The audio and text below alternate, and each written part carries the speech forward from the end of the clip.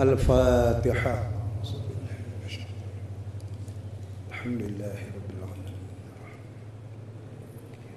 إياك نعبد وإياك نستعين.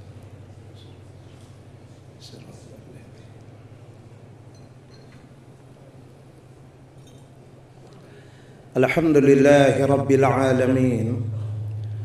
والصلاة والسلام على أشرف الأنبياء والمرسلين. سيدنا محمد وعلى آله وصحبه أجمعين أما بعد Sidang hadirin yang dirahmati Allah sekalian Pernah pada suatu ketika Seorang sahabat Rasulullah sallallahu alaihi wasallam yang mulia datang bertemu dengan Rasulullah sallallahu alaihi wasallam lalu sahabat ini menyatakan suatu soalan. Ya Rasulullah ajarkanlah kepada saya satu perkara. Yang kalau sekiranya saya telah bertanyakan kepada Rasulullah lalu Rasulullah menerangkannya kepada saya maka saya tidak perlu lagi bertanya kepada orang lain lalu Rasulullah sallallahu alaihi wasallam menjawab qul amantu billah thumma istaqim. Katakanlah aku beriman kepada Allah. Kemudian istiqamahlah kamu. Yakni berdiri di atas jalan yang betul dan tetap di atas jalan yang betul itu sidang hadirin yang dirahmati Allah sekalian kita bersyukur kerana masih memiliki tiga nikmat yang besar yang dikurniakan oleh Allah kepada sesiapa yang mau memiliki. Pertama, kita dikurniakan nikmat Islam dan iman. Yang kedua, kita masih dikurniakan dengan nikmat Ramadan. Manakala yang ketiga kita masih dikurniakan dengan nikmat istiqamah. yakni thabit tetap dengan amal yang kita laksanakan. Di sana ada manusia yang menerima nikmat Islam tetapi dia mengabaikan nikmat Ramadan. Walaupun dia seorang Islam, bulan Ramadan bagi dia serupa je macam bulan yang lain. Tidak ada apa-apa pun dirasakan kelebihan. Manakala di sana ada orang yang memiliki nikmat Islam dan iman ini dia memegang nikmat Ramadan ini tetapi kadang-kadang terlucut pula nikmat istiqamah oleh karena itu Rasulullah hanya meletakkan suatu dasar yang umum qul amantu billah summa istaqim. Katakanlah aku beriman kepada Allah kemudian istiqamahlah kamu. Katakanlah aku bertadarus sepanjang Ramadan ini kemudian beristiqamahlah kamu bertadarus sepanjang bulan-bulan yang lain. Katakanlah aku melakukan puasa sepanjang bulan Ramadan ini kemudian istiqamahlah kamu dengan puasa-puasa sunat di bulan yang lain. Katakanlah aku mendirikan sembahyang-sembahyang sunat yang banyak di bulan Ramadan ini. Kemudian istiqamahlah kamu dengan amalan-amalan sunat ini di bulan-bulan yang lain. Melakukan tadarus Al-Quran berpuasa bertadarus kemudian berterawih ini merupakan perkara yang mudah dibuat ketika bulan Ramadan ini yang payahnya ialah untuk melakukan istiqamah berterusan di atas jalan ini. Sekarang ini kita berada di masjid. Sebulan-bulan ni di surau pun. Habis lewat waktu biasa pukul 11 lah. Itu waktu biasa. Kalau luar biasanya dia ada balance. Bubur kacang hijau tadi, dia pergi 11 tengah.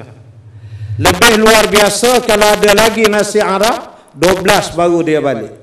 Artinya sepanjang Ramadan ini memang kita bermain dalam jangka waktu yang panjang selepas daripada Isya di masjid madrasah dan surah-surah. Tapi nanti kalau kita pulang ke kampung di setengah tempat, tidak semua, baru dua syawal sahaja. Habis sudah semayang isyak, kita baru nak semayang sunnah isyak, satu rakaat dia baru. Lampu dah padam dek tu Bilal. Dia dah cekap pinggang kat pintu tu menyanda tangan itu. Nengok. Ni lebay mana pula alim dari Kuala Lumpur Shah Alam. Orang lain dah balik banyak semayang sunat. Pada baru aja tak sampai dua rakaat lagi. Anak istiqamah tu. Itu yang payah. Jadi minta tolonglah dengan Allah. Kerana istiqamah ni bukan benda yang boleh dibuat-buat. Ianya adalah kurniaan daripada Allah. Ini yang pertama. Yang kedua tadi Al-Harith bil Quran. Pengawal Al-Quran kita Al-Fadil Tuan Imam telah membacakan ayat-ayat daripada surat Al-Ahzab surah Al-Ahzab ini adalah di antara surah yang istimewa.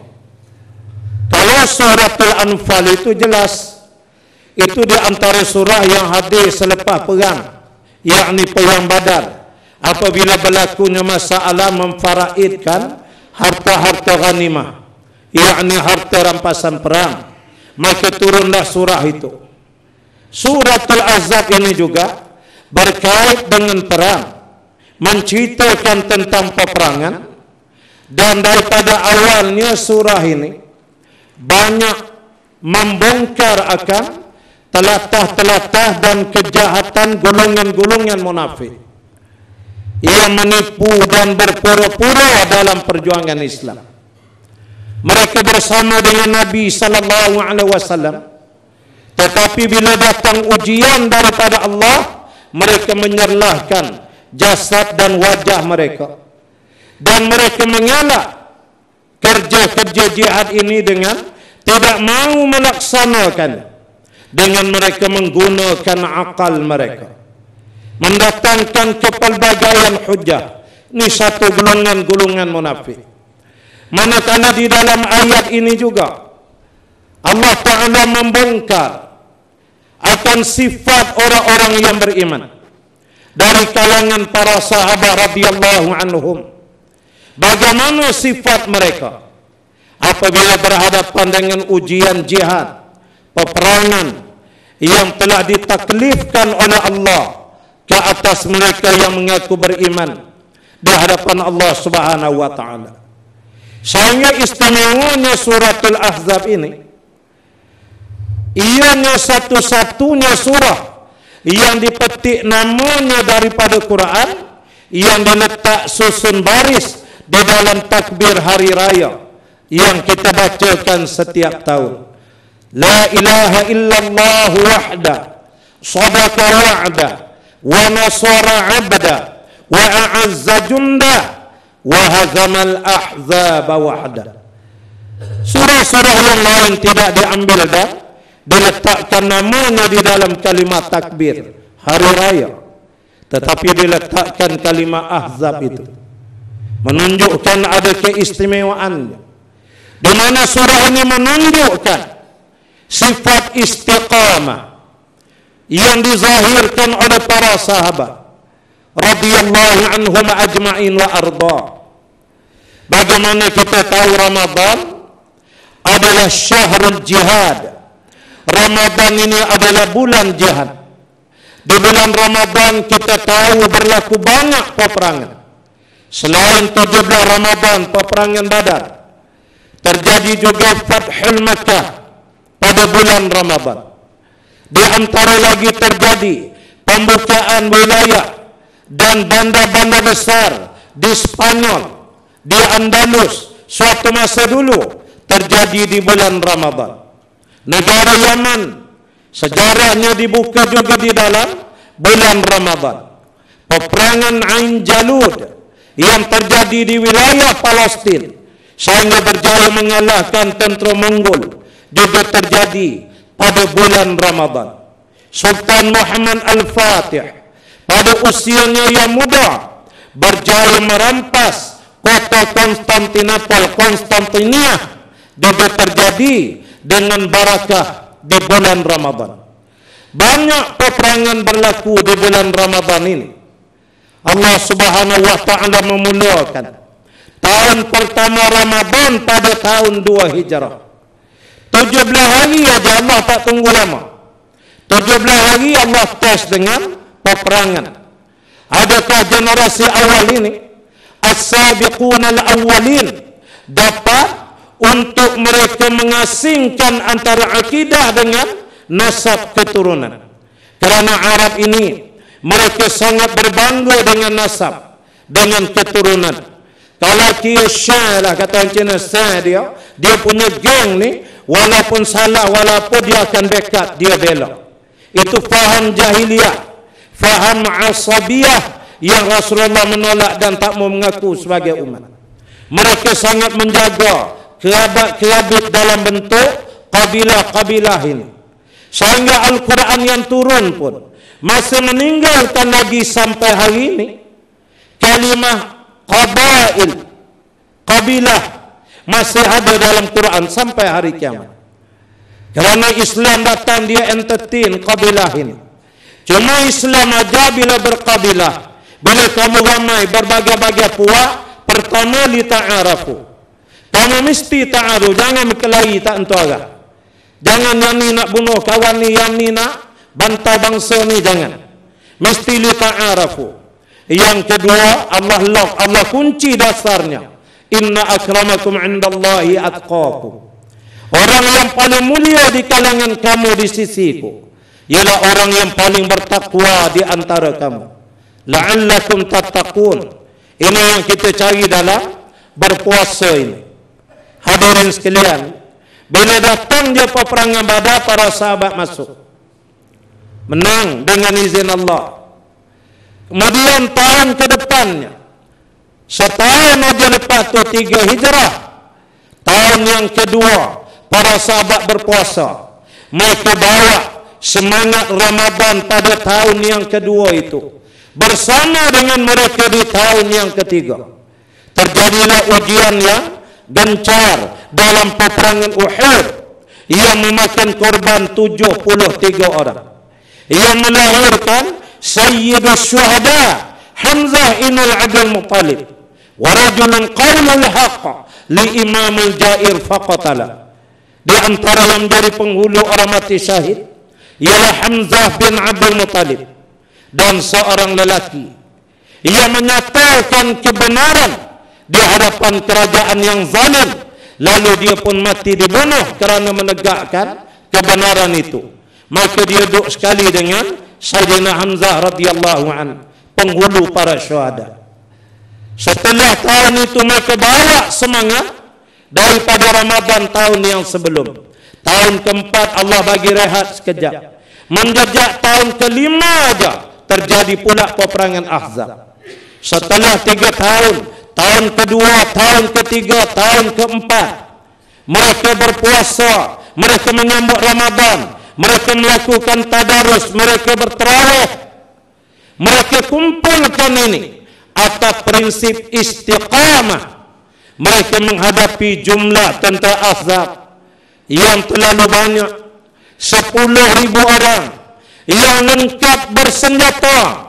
Sedangkan tentera Islam baki daripada syuhada yang hasil daripada peperangan Uhud tak ramai mana dah tarik sikit bantuan orang-orang tua sebahagian pemuda-pemuda dapatlah lebih kurang 3000 orang itu pun perempuan dan kanak-kanak disimpan dan dikawal di dalam rumah karena mereka tidak diwajibkan berperang masa itu. Demikian juga dari kalangan bu'afa mustada'afin mereka tidak terlibat. Maka tiga ribu ni menghadapi sepuluh ribu musuh. Surat al-azhar mendedahkan sifat-sifat manusia dalam ayat-ayat yang dibacakan oleh ustaz tadi. Di antaranya Allah menyebut ada di kalangan mereka bila melihat ketemukan tentera Ahzab ni datang. Seolah-olah nyawa telah sampai ke kerongkongan mereka. Takutnya dia. Cakap bergegar-gegar datang ujian lintang pukang dia lagi. Siapa dia? Golongan-golongan munafik. Golongan-golongan nifaq. Yang senantiasa menjadi owner dalam sah perjuangan Islam. Mereka menyelam dengan menyama diri sebagai sah dalam gerakan Islam.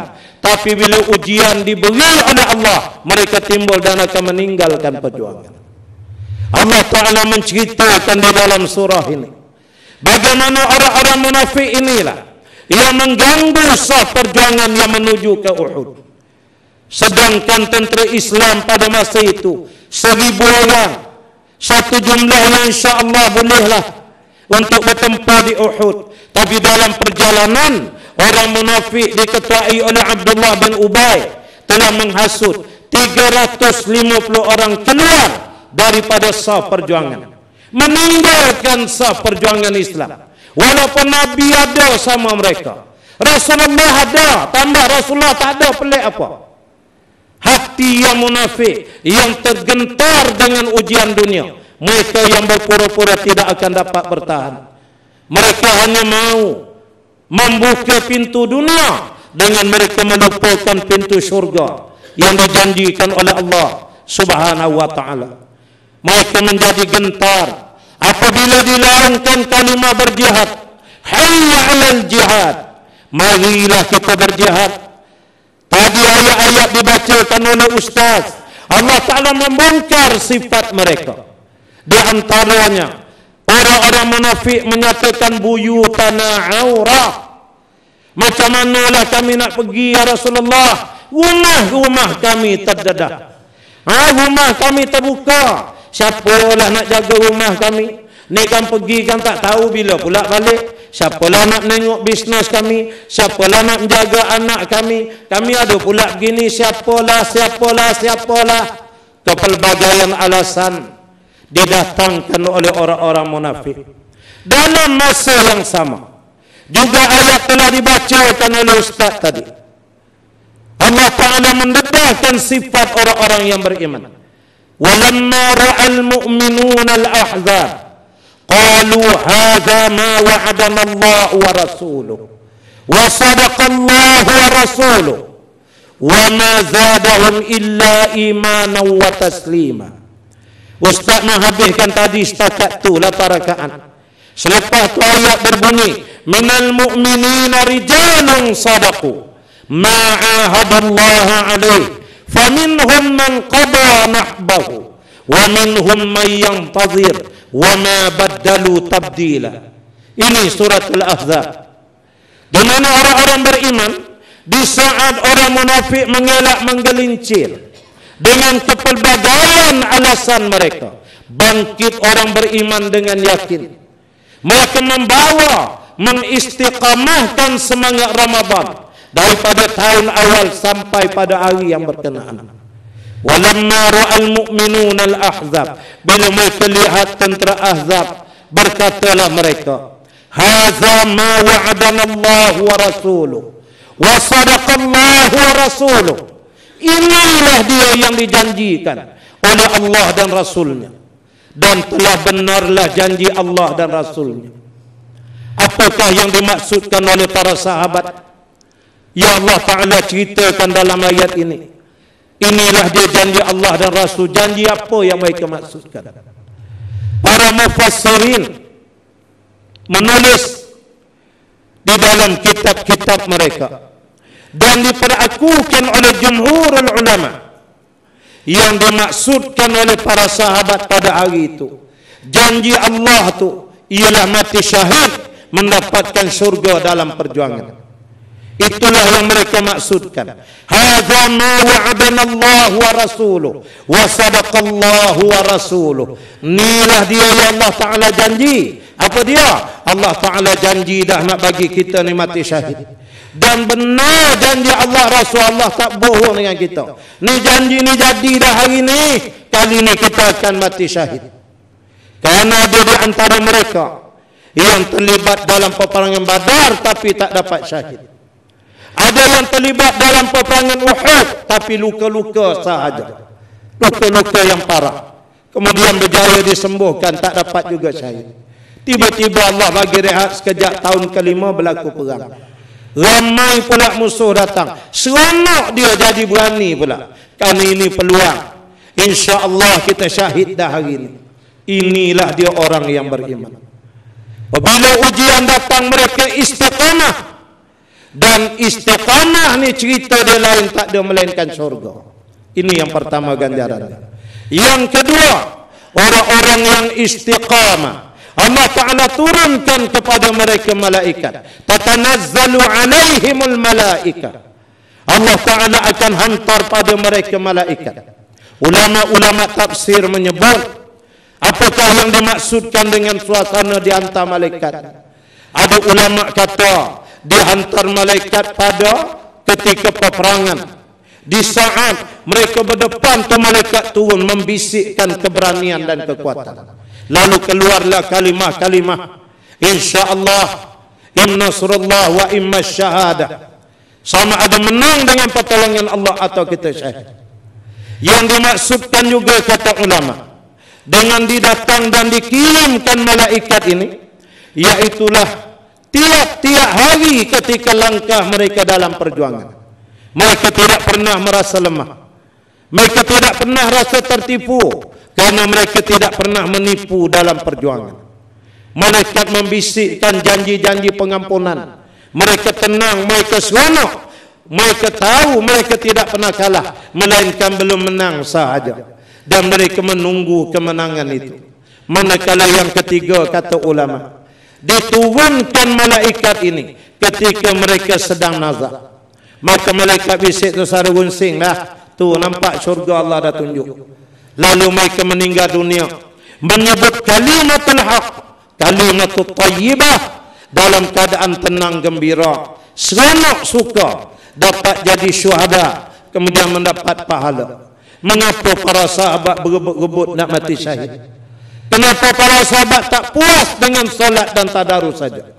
Karena sahabat sentiasa ingat apa yang dipesan oleh Nabi sallallahu alaihi wasallam man mata barang siapa yang mati.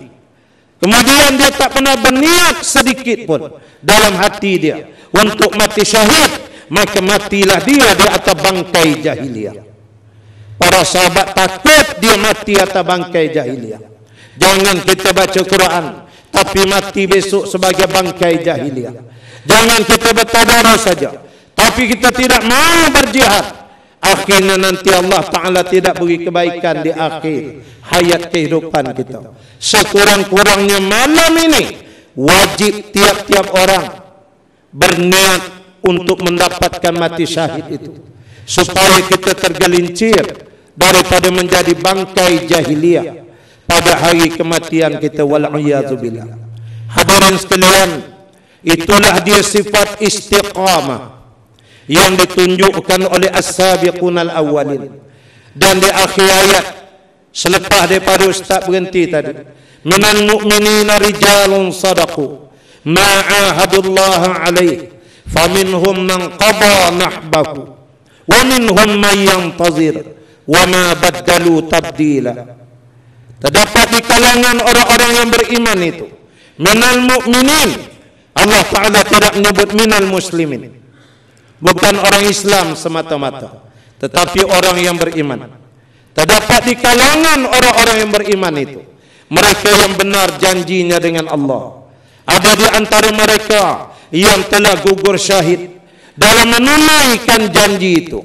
Ada di antara mereka menunggu giliran untuk mati dan mereka tidak akan merubah janji mereka dengan Allah subhanahu wa ta'ala. Marilah kita meletakkan azam dan kesungguhan. Bagi kita memenuhi sebanyak-banyak amalan pada 10 malam yang terakhir ini. Dan saya melihat wallahu alam negeri lain tapi saya menyatakan negeri Selangor kita nampak barakah Ramadan tu luar biasa. Sehingga 10 malam akhir ini sekarang kita maklum masjid madrasah surau buka sampailah malam syawal nanti penuh orang. Datang melakukan qiyamul ramai yang bangun malam. Untuk melakukan ibadat malam. Ada juga yang malam-malam bangunnya karena Euro 2016 ada juga. Walau bagaimanapun kita mesti mengambil peluang ini.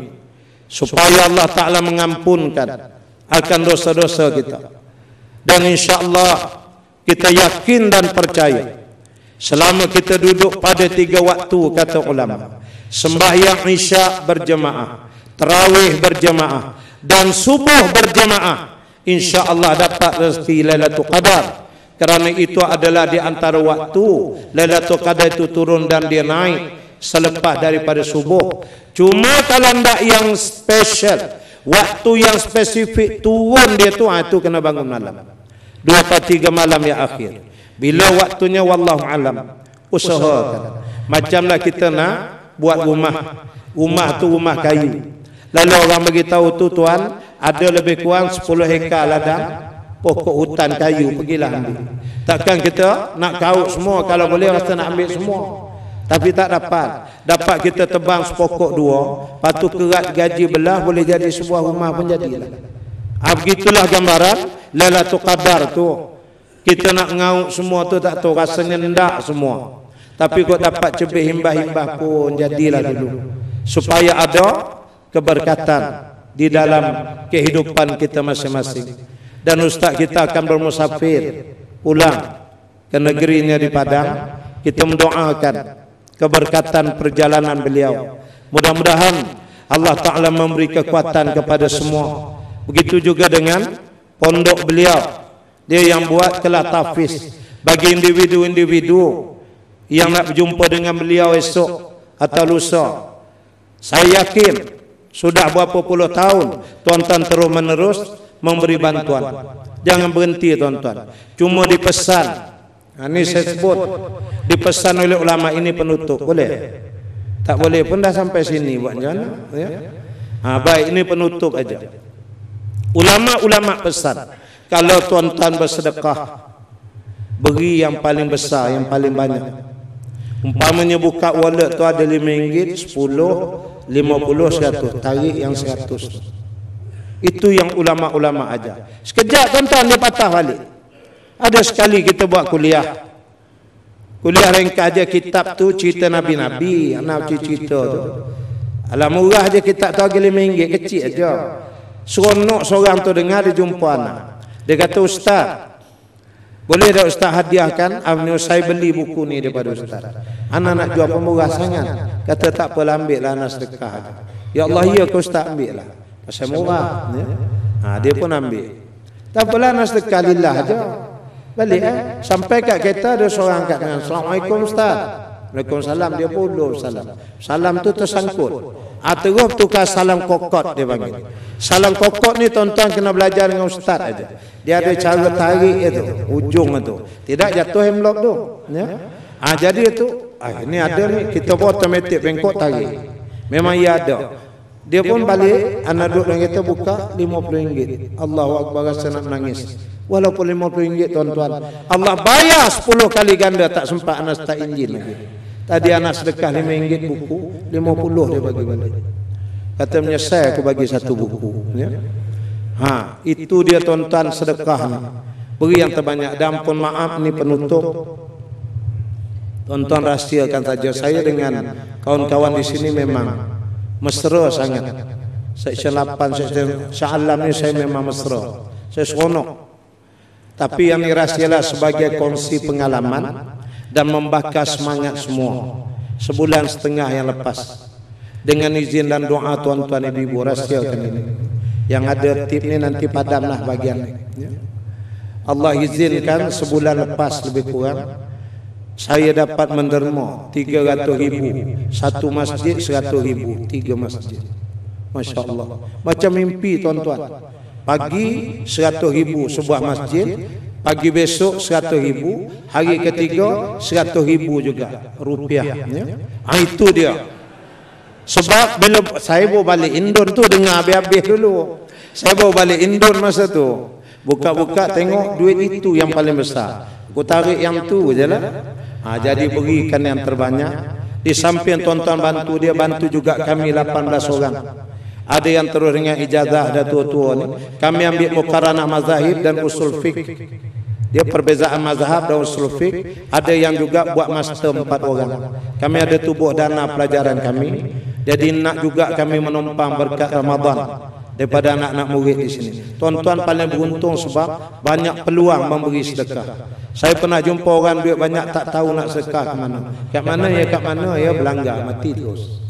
Jangan main tuan-tuan. Sebelum keluar kena langgar, eloklah bagi malam ni ya. Nah itu ini cakap tok guru jangan main-main tuan-tuan. Ah itulah jadi bantulah kami juga. Mudah-mudahan. Terima kasih bagi semua sahabat-sahabat.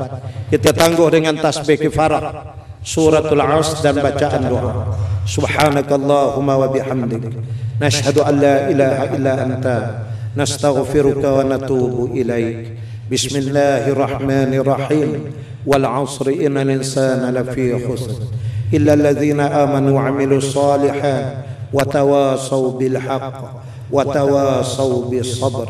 أعوذ بالله من الشيطان الرجيم. بسم الله الرحمن الرحيم. الحمد لله رب العالمين والصلاة والسلام على أشرف الأنبياء والمرسلين سيدنا محمد وعلى آله وصحبه أجمعين. اللهم إنا نسألك رضاك والجنة ونعوذ بك من سخطك والنار. اللهم إنك عفو كريم. تحب العفو فاعف عنا وعن والدينا عن جميع المسلمين والمسلمات والمؤمنين والمؤمنات الأحياء منهم والأموات. برحمتك يا أرحم الراحمين. والحمد لله رب العالمين. وبالله توفيق والهداية. Assalamualaikum warahmatullahi wabarakatuh.